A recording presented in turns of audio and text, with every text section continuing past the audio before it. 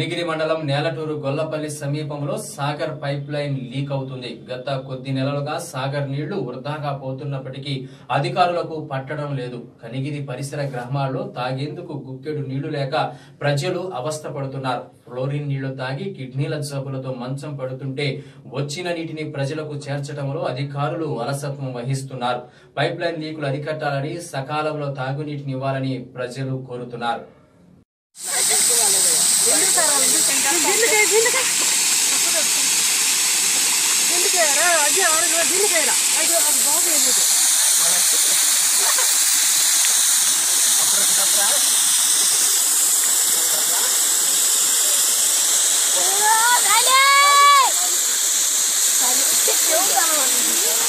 వెంకటేశ్వర్లు వ్యవసాయ కార్మిక సంఘం పశ్చిమ ప్రకాశం జిల్లా ఉపాధ్యక్షుని. కనిగిరి మండలం ఎన్నగొల్పల్లి దగ్గర ప్రధానమైనటువంటి సాగర్ పెద్ద పైప్ లైన్కు లీక్ అవుతుంది. గత అనేక నెలలుగా సాగర్ జలాలు వృధాగా పోయి పెద్ద ఎత్తున వాగులా ప్రవహిస్తుంది రోడ్డమిటే కనీసం గతంలో పత్రికలు కూడా వచ్చినాయి. అధికారులు స్పందించట్లేదు. మరోపక్క జలాల కోసం సాగునీటి కోసం సాగునీటి కోసం జనాలు చాలా ఇబ్బంది పడుతున్నారు.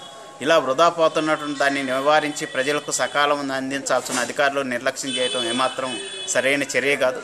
తక్షణమే స్పందించి ఆ వృధాగా పోతున్న నీటిని నివారించి ప్రజలకు సకాలంలో నీరు అందించే విధంగా ప్రభుత్వ అధికారులు చర్యలు తీసుకోవాలి